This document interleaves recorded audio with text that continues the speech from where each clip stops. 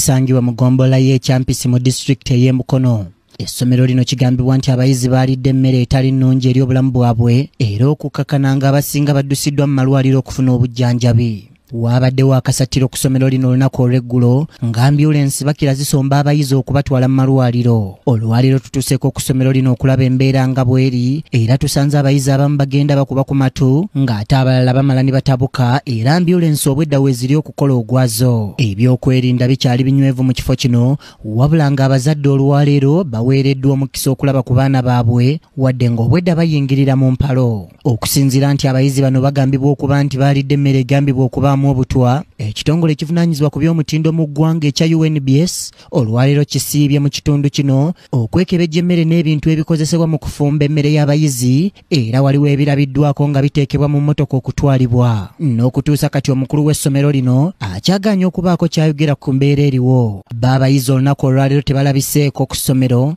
ng'ebibiina bisiibye ebimu bigale ng'ate bba abayizi ab'ekisulo basiibye beegayirira katonda wakati mu kusaba okukulembeddwamu reverand harriet malika omukwanaganya w'ebyobulamu mu bulabirizi bw'emukono ntwatwa jackson munnamateeka era omuliraanwa w'essomero lino agamba nti poliisi esaana eweebwa obudde okunoonyereza kijjewo ebyogerwa nti zino zaabadde enkaayana za ttaka ze zaaviiriddeko bino.